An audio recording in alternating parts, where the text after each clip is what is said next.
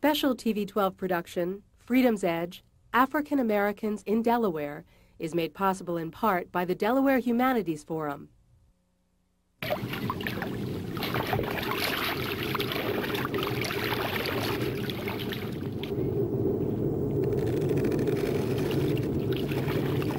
The winds filling the sails of the Swedish ship Fogel Grip carried more than sailors returning to their newly established colonial home, Fort Christina. Also on board were supplies crucial to survival in the New World. Cargo, which included an enslaved man the Swedish settlers called Black Anthony. Anthony had worked in both Africa and the West Indies. Now forced to move to yet another continent, Anthony would become the first black man to live in the colony New Sweden and the first slave to work the land destined to become Delaware. Anthony's labor helped those early settlers stay alive, and over time, it's believed, they set him free from slavery. Once free, legend says Anthony chose to return to sea, sailing the personal ship of Swedish Governor Johan Printz. Thousands of men and women would arrive in Delaware like Anthony, brought as slaves, working toward their freedom. Some would reach their goal, others would die in bondage. But all would learn the cruel lessons of a land where their dignity was an afterthought, the land of Delaware, freedom's edge. Oh, freedom, oh, freedom, oh, freedom over me, over me, and before I'll be a slave, I'll be buried in my grave and go home to my Lord and be free.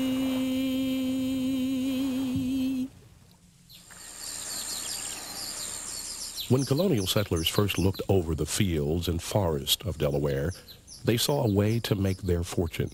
All they needed was a plot of land and someone to work it. Land wasn't hard to come by. Dutch, Swedish, and English settlers made deals with Native Americans to buy large plots of the New World. Labor, on the other hand, was a problem. To make a profit, colonial farmers needed help from someone who'd work very cheap or free. They first turned to Native Americans, even tried to enslave them. But Native American men weren't accustomed to field work and they could easily escape from white men to hide among other Indian peoples. More Native American women were enslaved, but many died from diseases like smallpox that Europeans had brought with them. So the colonists turned to the system they'd used back home, the poorest people around, poverty-stricken Europeans, sometimes sold themselves into bondage just long enough to pay off their debts. These temporary slaves were known as indentured servants. Indentured servants were servants who couldn't pay their way over to the New World, and a ship captain would pay their way for them and then would sell their services for approximately five years to someone who wanted to buy them. One of the problems with indentured servants, of course, was that they only worked for three to seven years. And once they were free from their indenture, then they probably went on to do something else, and probably most of them left the state of Delaware. Europeans were desperate for a labor force to work dozens of colonies, not just Delaware. Swedish, Dutch, Portuguese, Spanish, and English ships all sailed through the Atlantic Ocean to a place long rumored to have unlimited resources, the west coast of Africa.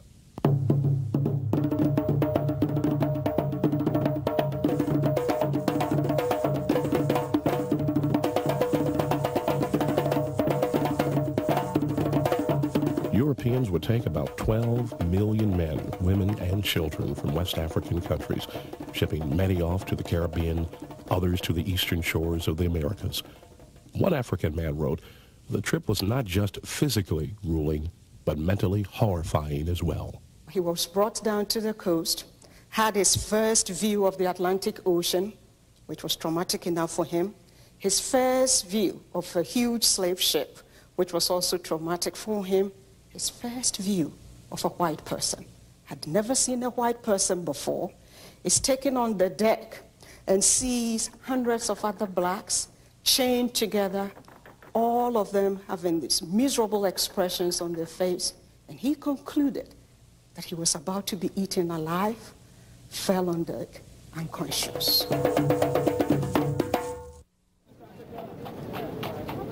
The only records of Africans who arrived in Delaware during the 16 and 1700s are sales receipts and a few newspaper accounts. One tells of an 18-year-old girl who stepped off a slave ship docked in New Castle. She spoke no English and wasn't allowed to keep her African name. The man who bought her called her Betty. Newspapers tell the story of another African in New Castle, a man who defiantly kept his African name, Kanga Mochu, in halting English, Kagamochu told people stories about his home across the ocean and the wives he longed to see again. Many Africans believe that when they died, their spirits would cross back over the Atlantic Ocean, finally making it home. Sometimes I feel like a motherless child alone home.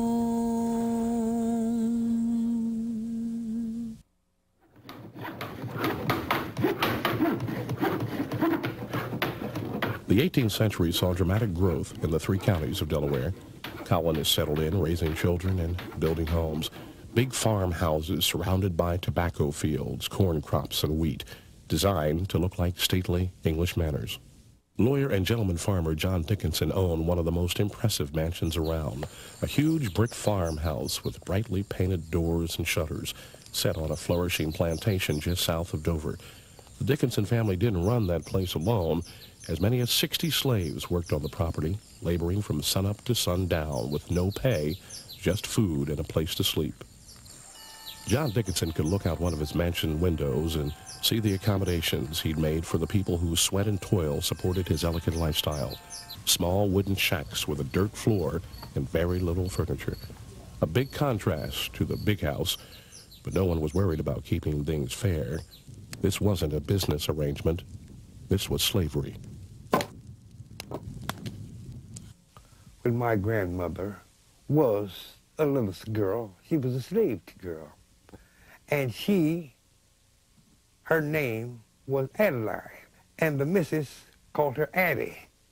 The lady said to her, Ad, I don't know how I'm going to get the eggs from under the house. The chickens went under the house and laid eggs, and she was small to get in this, around this, under the house and get it and bring them out.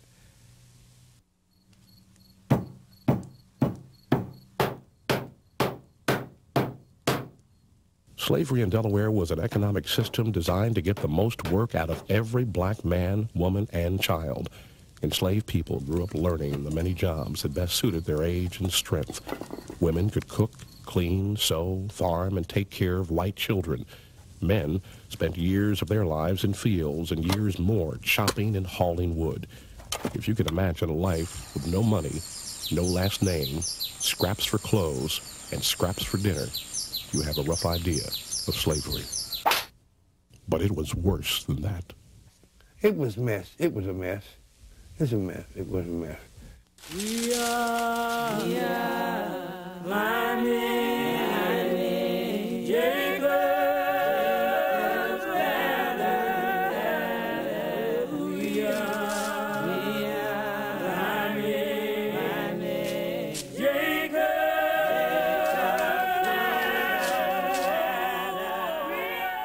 enslaved men and women kept their sanity and their spirits alive with religion, taking comfort in the hope of a heaven they'd reach after death.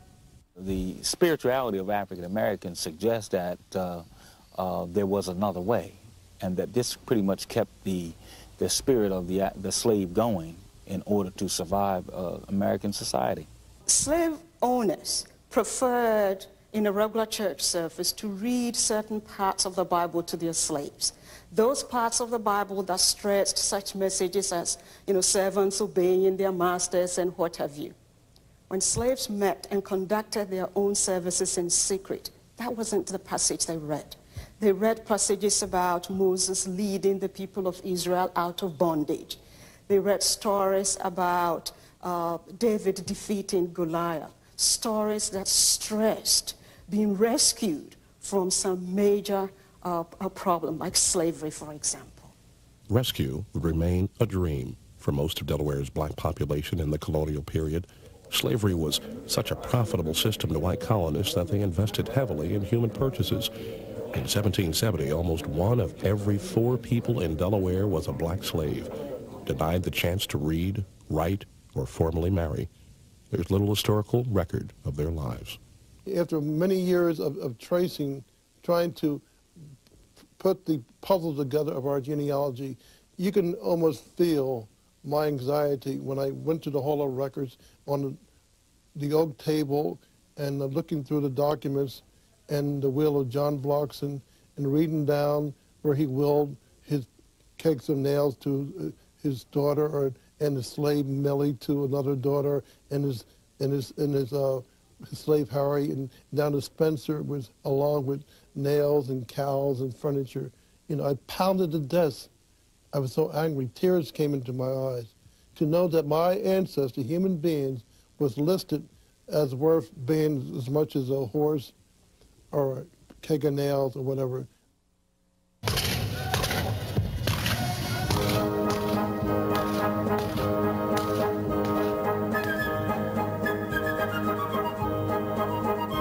Took a war to shake up the institution of slavery in Delaware. Not the Civil War, though. It was the American Revolution that would forever change the lives of African Americans in the first state. The revolution was one of those events that not only caused people to act, but caused people to think. If you thought about the king as enslaving white colonists, then the implications were that maybe this slavery was extending beyond white colonists to black colonists, and maybe the people doing the enslaving were not the King of England, but people living on this side of the Atlantic Ocean. That was troubling. The Declaration of Independence may have inspired some white farmers to consider freeing their slaves, but it was a pinch on their pocketbooks that convinced many to actually do it.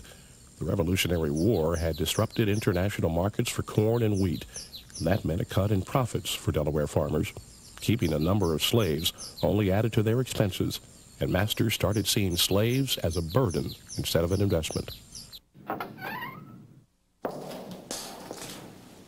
In the decades after the American Revolution, hundreds of slaves walked into this room, the Kent County Recorder of Deeds office. They took a seat while white owners filled out manumission forms, the paperwork of freedom. No more auction block for me, no more, no more. No more auction block for me, many thousand gone. Meanwhile, upstairs in the Delaware legislative chambers, state lawmakers were debating whether to go ahead and outlaw slavery. After all, by 1790, a majority of slave owners in the state had already given up their human property voluntarily. Several times, uh, the abolition bill got very close to being passed. On two occasions, the abolition bill failed by only a single vote. One vote. States north of the Mason-Dixon line were much less hesitant when it came to abolition. Vermont became the first state to outlaw slavery in 1777. Massachusetts and Pennsylvania soon followed. By the early 1800s, freedom's boundaries extended throughout the North. Delaware, still a slave state, was right on the edge. He breaks the power of canceled sin. He sets the prisoner free. By the early 1800s, the fervor of Methodist preachers stirred up even more anti-slavery feelings in Delaware. Quakers, too, although a bit quieter by nature, waged a sometimes public, sometimes secret war against human bondage. One Quaker man, a Wilmington merchant named Thomas Garrett, was a master at sneaking runaway slaves north through Delaware to the Free States. His story, and stories of many other Underground Railroad conductors like the legendary Harriet Tubman, were told in a book written by a man named William Still in 1872.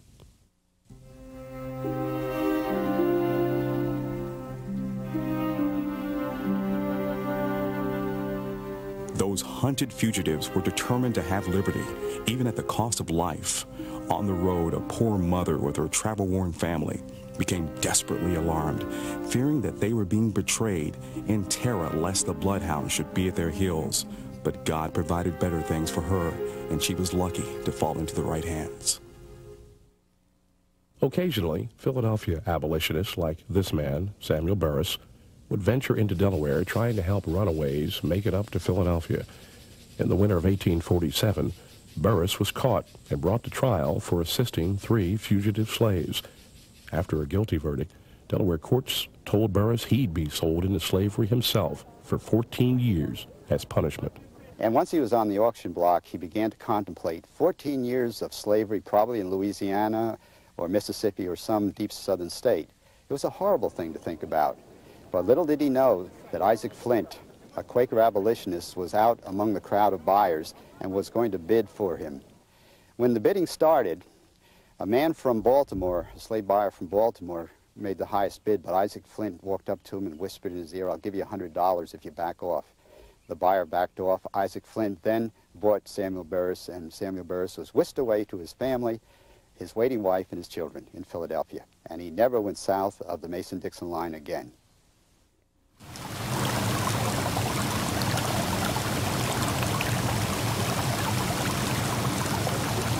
The cypress swamp at Trussum's Pond near the town of Laurel is one of the most beautiful plots of land in Delaware.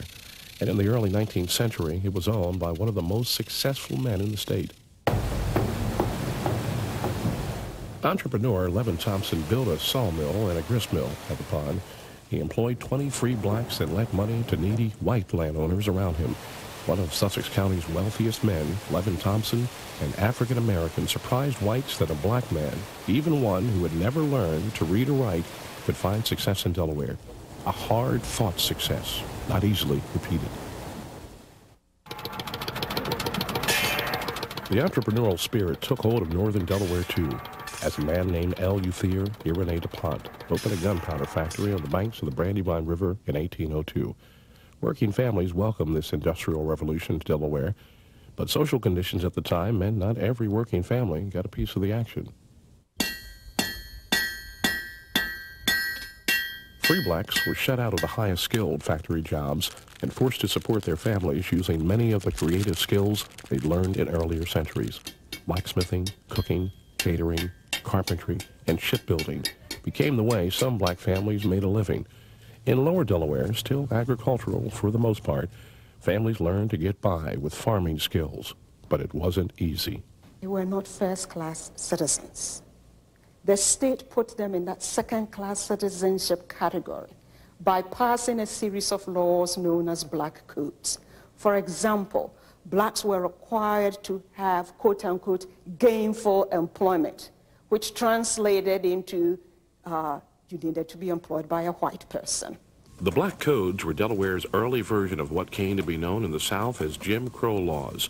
They were rules that white lawmakers created to control free blacks. and Delaware, had a higher percentage of free blacks than any state in the country. It shall not be lawful for free Negroes to possess a gun. Negroes may not gather in groups after 10 o'clock in the evening. No Negro may be idle. There will be no intermarriage between Negroes and whites. Delaware's black codes covered education, too. No African American child was allowed to attend a state funded school. That ruled out nearly every school in Delaware. And segregation infected religious communities as well, causing some African American Christian leaders like former slaves Richard Allen and Absalom Jones to consider starting their own congregations. Not only were they assigned the worst seats, they could only come to the altar after the white worshippers had come. And uh, they, uh, Allen and Absalom Jones and others began to feel that this was wrong. Uh, they had read the Declaration of Independence and had come to believe that uh, it applied to just white people. And they felt that it was wrong to religious, to worship God in this way. While Richard Allen and Absalom Jones started the first independent black churches in Philadelphia, a Delawarean named Peter Spencer was feeling the same need to break off from a segregated Methodist church in Wilmington. The slaves always worshipped upstairs. They didn't worship downstairs with their master. So they were making so much noise that the officials asked them to keep quiet or do something else. So Peter Spencer decided to get a church of his own.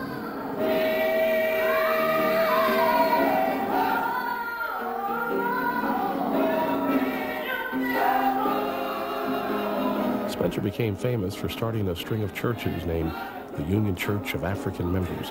They were meant to support free blacks and the few men and women that remained enslaved in Delaware. Each church had a school, and that's where the children in the vicinity of the church could go to school.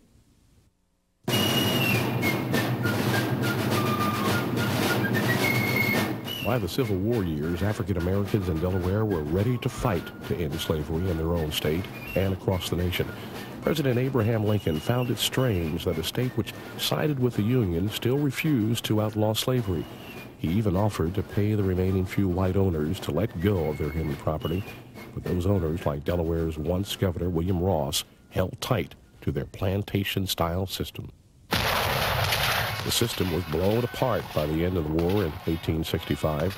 The United States government passed the 13th Amendment, outlawing slavery in every American state. Still, the first state to ratify the U.S. Constitution was nearly the last state to formally accept abolition. Not until 1901, when the Republicans came to power, did they go back and ratify the amendment. Of course, by that time, slavery had already been abolished.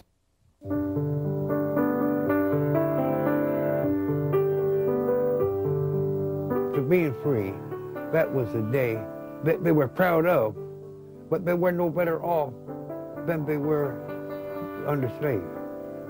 They were the same predicament, but they were just free. Free for what? They still had to do work like they did before, for nothing. The rising racism in Delaware that reached a peak just before the Civil War continues to poison the water in Delaware in terms of race relations. And in Delaware, it's not until 1967 that the last segregated school is finally closed.